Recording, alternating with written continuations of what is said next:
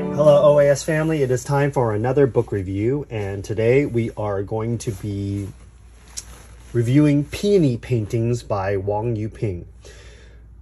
Before we get into the details of the book, the general statistics, the book is eight and a quarter inches wide by 11 and three quarter inches tall. It has approximately 126 pages and it has text in Chinese.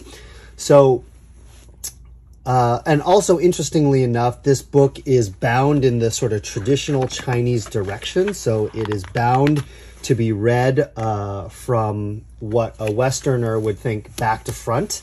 Uh, so it is meant to be opened this way and read this way because typically uh, the way uh, Chinese is, is read is it's read vertically from right to left rather than horizontally from left to right like English. So that is uh, the basic uh, general statistics of the book. So we're going to get right into it here.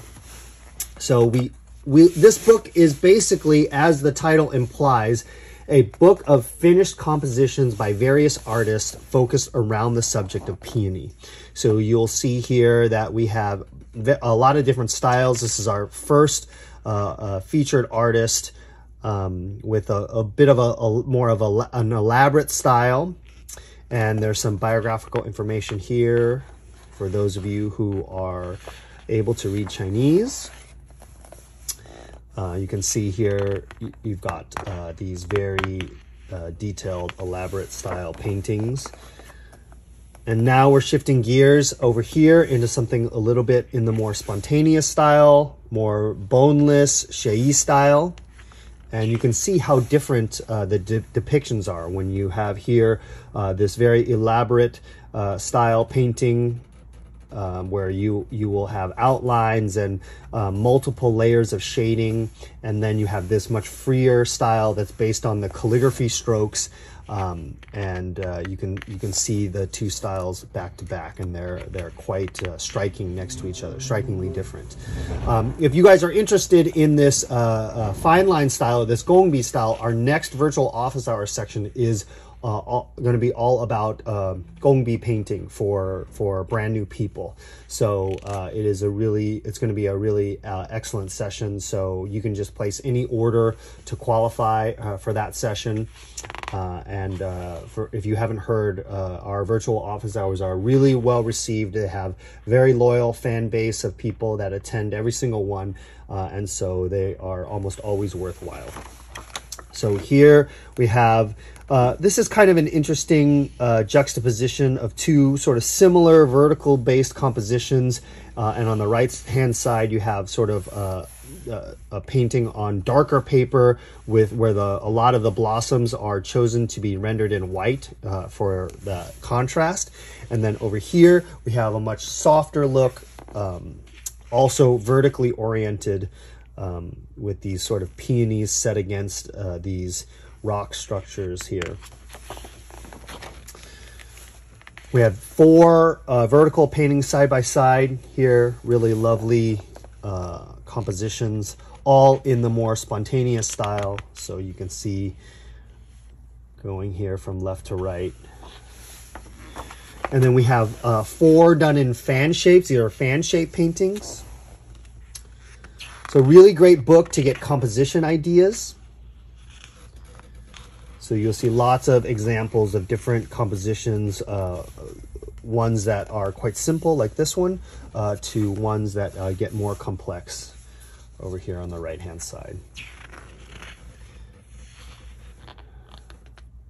This is a nice blend of styles here where you've you see some buds and, and certain flowers uh, chosen um, uh, to be outlined uh, if they're if they're white buds or white flowers, he the artist chooses to do them in outlines to show the white, uh, and then the rest of them uh, are sort of without line work done in a more uh, boneless style uh, for the colored buds. So that's interesting to have those side by side like that.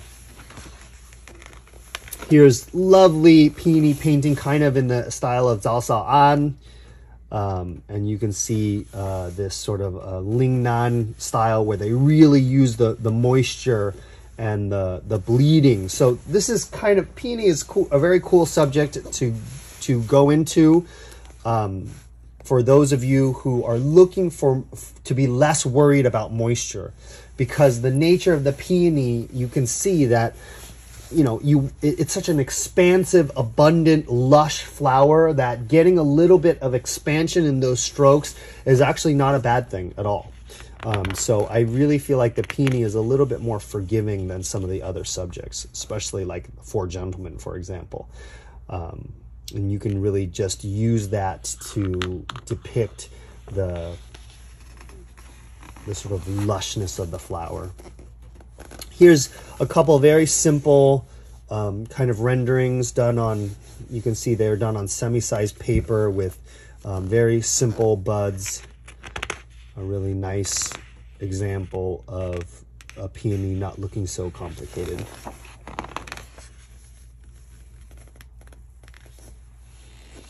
So interesting. Uh, here we have this uh, peony in a in a pot, um, like next to these sort of like almost like pine bonsai kind of ideas, and then you have this lounging cat over here on the right hand side with a bamboo. Really interesting painting that has a lot of different elements in it and is full of charm. Some more examples of these vertical paintings done in the spontaneous style. Beautiful peony set against, uh, featured alongside this stunning peacock here. Uh, and then two more simple, uh, uh, simpler compositions, but also done in a little bit more of a detailed style.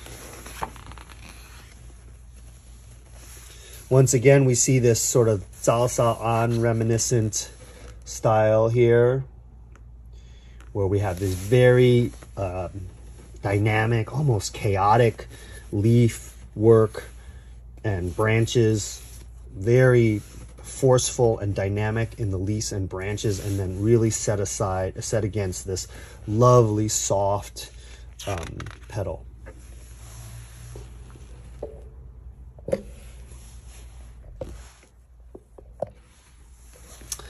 All right, so going forward here, a couple paintings done in the uh, fine line or gongbi style. One featuring a butterfly here with a couple, a pair of birds. Beautiful color work here where they're showing this contrast of the folding petals and you can see the lighter side of the petals depicted here against uh, the darker front side of the petals. Uh, really lovely technique shown there. And a few more paintings in the fine line style. And then now we're back into uh, a, a, more spontaneous style here. Again, showing sort of peony uh, as part of human created uh, centerpieces or decorations and then a couple lovely variations of this uh, you know a collection of flowers. You can see these different composition ideas here working this kind of host and guest idea right? Uh, and then you know all of these have this idea of like host and guest. Very nicely done here. Uh, more spontaneous style examples here showing the variety possible in this subject. Whole book has just peony paintings, and it's really nice to see and you know a single subject um, depicted in so many different ways. It really shows you the possibilities. It's like you can they're almost inexhaustible. Uh, with a pair of chickens here, rooster and hen alongside a peony.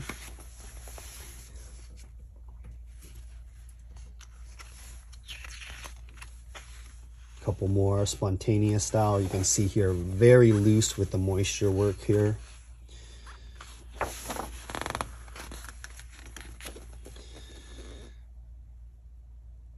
Nice color work again, showing front and back side of the petals uh, in this, in again, a more spontaneous style. And then you can also see here this example of choosing to depict a white flower using outlines and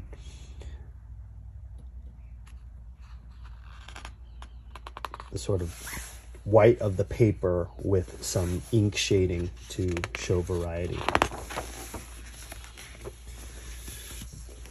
And then more examples of spontaneous style depictions.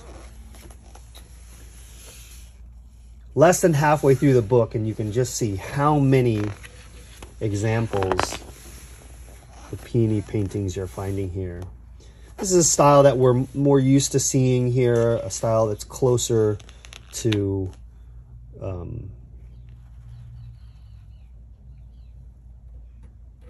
closer to like uh, a Johnson Chow or uh, Ning Yeh style of spontaneous style painting.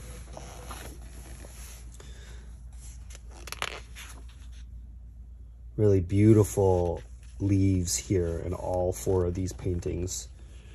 Quite different, but all very lovely leaf work, leaf and branch work. A pair of kittens shown with peony here. I like how we have this very clear centerpiece of the flower and then it sort of dithers off with the cats offering a nice transition between this and this more wild grass here on the left. Sort of like emperor and peasants and liaison. All right, so on the right hand side, we have a couple of birds shown with peony in this very lovely spontaneous style. So nice, again, you see a, a really diverse mix of styles in this book. Really striking color work here. You can see the mineral green shown there. This is a really unique, um, very, I feel like this is very modern um, style. We're, sh we're showing these up close shot and blocks of color and uh, uh, an attempt to be more abstract.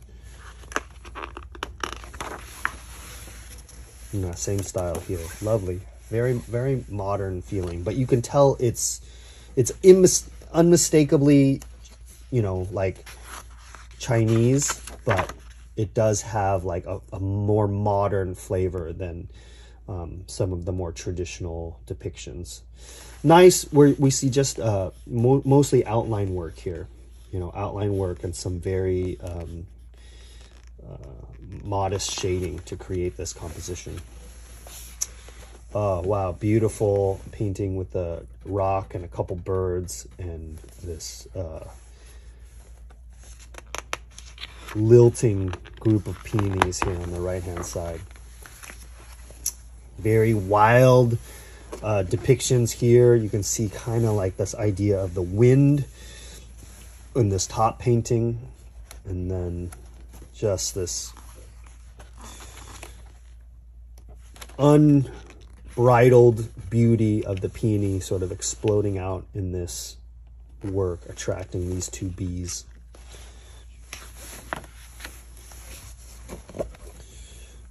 Couple more depictions here. This fan style painting here.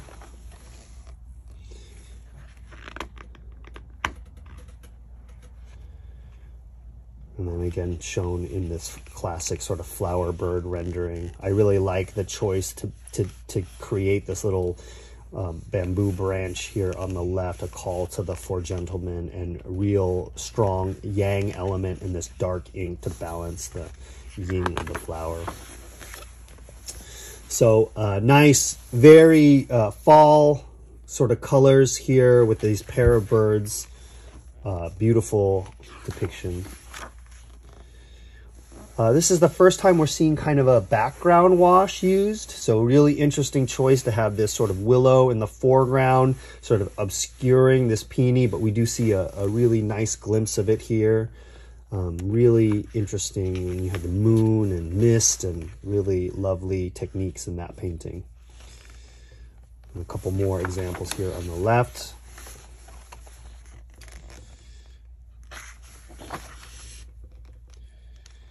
Again, back to the fine line style. You can see this lovely shading black flower here with the little red edges, very striking. Really endless uh, color combinations that can be explored here from subtle to very striking.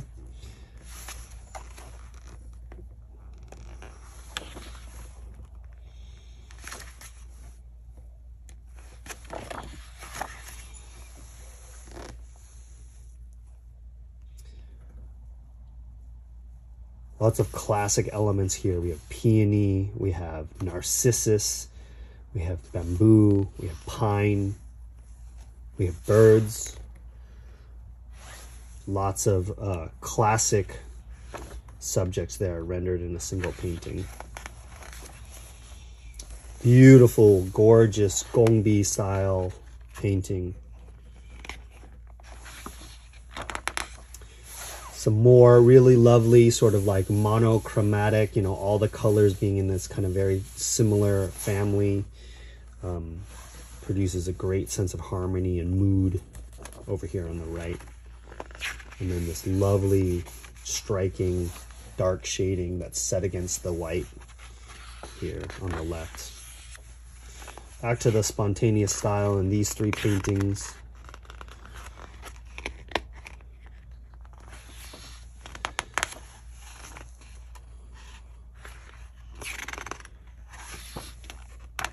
Some ink ideas here.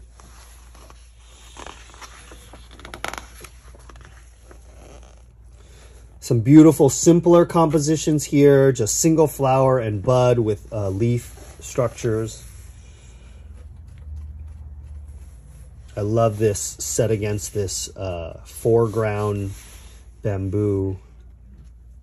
It's kind of upstaging the peony there.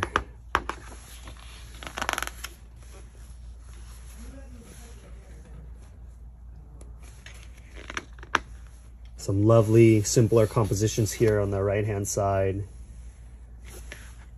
Then we have a flower bird combination and then peony with bamboo. First time we see it uh, depicted with uh, koi or carp. A couple flower bird examples right there. Really nice spontaneous style, but a much, a very orderly presentation here. Very um, intentional stroke work, even though it's spontaneous style. And then I have, you have sort of a freer rendering here. Look at the charm of this bird there depicted in this way.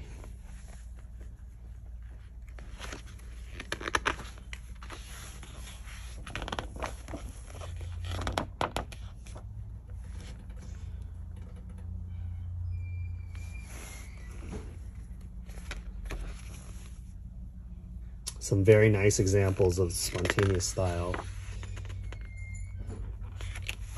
Nice triangular compositions here, so you can see these, all these, this triangle concept where we're making a triangle all the time with the elements, main elements. You can see it at work there.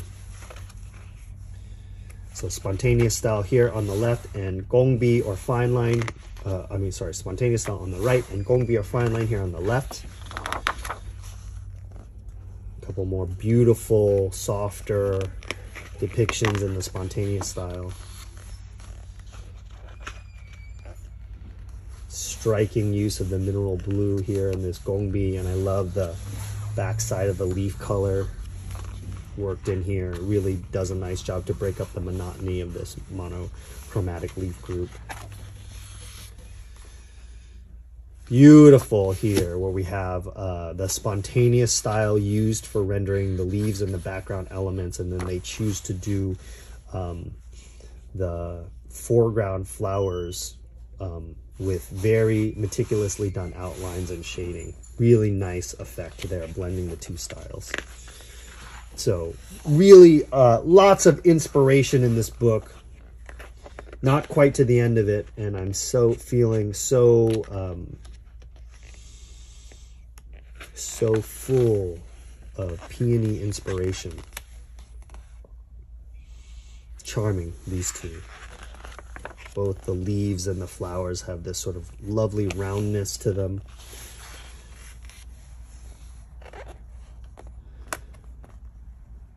Nice sort of pheasant with mantis and peony. Cats playing with butterflies here, and then classic flower bird combination here. A few more paintings we finish up, getting to the end of the book. And there we are. So that is it. That is Peony Paintings by Wang Yuping. And uh, if you want to purchase this book or you need more information, you can go to our website at orientalartsupply.com. Make sure you like and subscribe for more content like this. And as always, we wish you happy painting. Make sure you like and subscribe for more content like this. And as always, we wish you happy painting.